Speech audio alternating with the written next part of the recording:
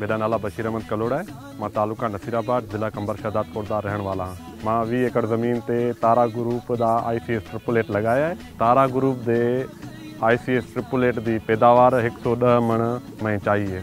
रिघा संघ ए तमाम बेहतरीन पैदावार है एक सौ दह का एक सौ पंद्रह ढी ताईं फसल तयारु थी वेंदी आहे दरमयाना क़द ए फसल किरण का महफ़ूज़ रही है गर्मी बर्दाश्त करण की सलाहत इंच तमाम घनी है एक ही वक्त तमाम फसल पक तैयार तयारु थी वेंदी तारा group J I C S triple eight जो मां तमामु घणा मुतमिन आहे ऐं तमामु ज़मीदार ग्राहकूं इहो मशवरा ॾींदा पिया त I C S triple eight तोसां लगाओ ऐं फ़ाइदा उठाओ